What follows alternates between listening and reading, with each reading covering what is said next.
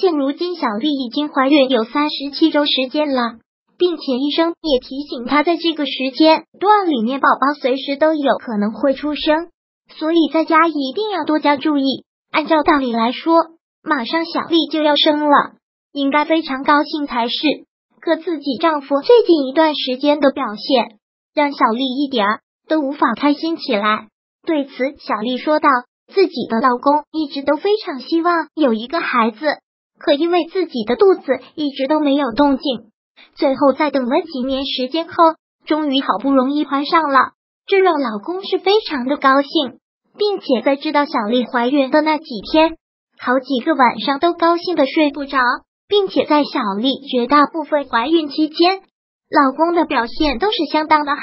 最重要的，每天只要一下班就会往家里赶，回到家就变这样给小丽做各种各样的好吃的，每天还会给宝宝做胎教。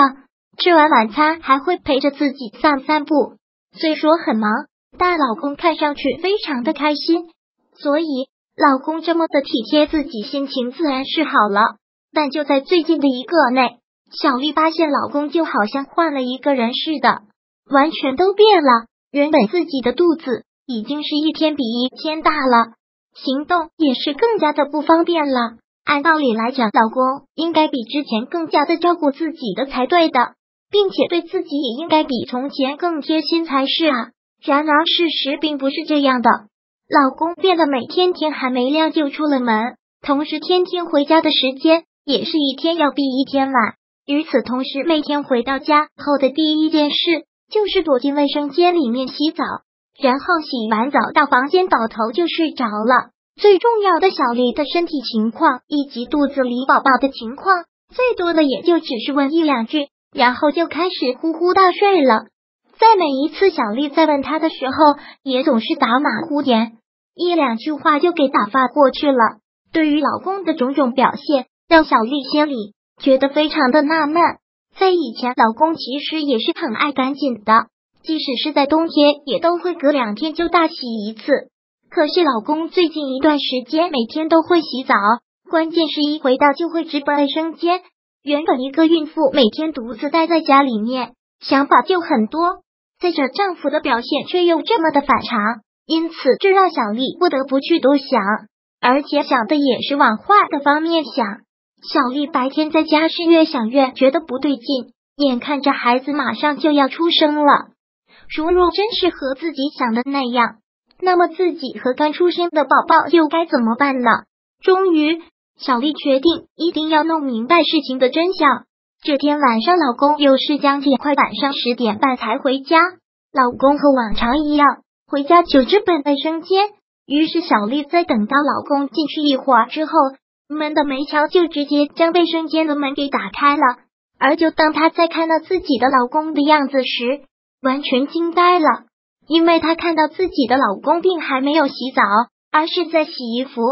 最重要的是，盆子里面的水也被洗得很黑了。不用想就知道这衣服该是有多脏了。其实这都还好，让小丽更加惊讶的是，老公还没有来得及洗澡。小丽看得出老公的身上还很脏，并且看到身上那一块这一块的淤青，尤其是老公肩上很红很红的两条印子。当时小丽真的是看得触目惊心，但小丽并不知道这究竟是怎么了，自己的老公为什么会成为了这个样子？小丽就问老公到底是怎么了，但在一开始不管小丽怎么问，老公就是不说。直到最后，在小丽的反复追问之下，老公才终于说出了实话。而就当小丽在得知实情之后，却早就已经哭成了一个泪人。因为老公的单位不景气，并且已经在两个月之前就倒闭了，因此小丽的老公也就自然失业了。但老公为了不让自己已有身孕的老婆担心，所以也就没有说出来。可在想的宝宝马上就要出生了。宝宝一出生就会需要很多的钱，于是他就一个人跑到工地上面做工去了。再者，因为根本没有这方面的技术，所以就只能是在工地上做做力气活，给别人帮忙搬搬砖、担水泥的活。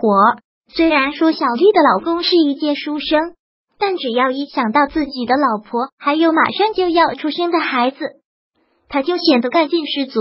为了可以多赚点钱，所以每天就只能够是起早贪黑的。听完老公的话，小丽非常的伤心，同时也更加心疼自己的老公，认为自己真的没有嫁错人。再者，也是一个非常负责任的男人，因此小丽觉得和这样一个男人在一起，不管有多么的苦，也是幸福的。最重要的是，她相信自己的这个老公，同时也相信这个家以后的日子肯定会越来越好的。如果喜欢本视频，请分享并订阅本频道，别忘了按赞哦！